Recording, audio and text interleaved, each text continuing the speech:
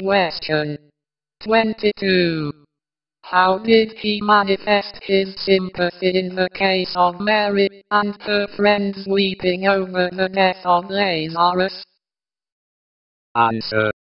When Jesus therefore saw her weeping, and the Jews also weeping, which came with her, he groaned in the spirit, and was troubled, and said, Where have you laid him? They said unto him, Lord, come and see. Jesus wept. John 11. 33 35. Note, not alone for Mary and her friends did Jesus weep. Looking down through the ages, he saw the tears and the heartaches which death would bring to mankind in this sin-stricken world.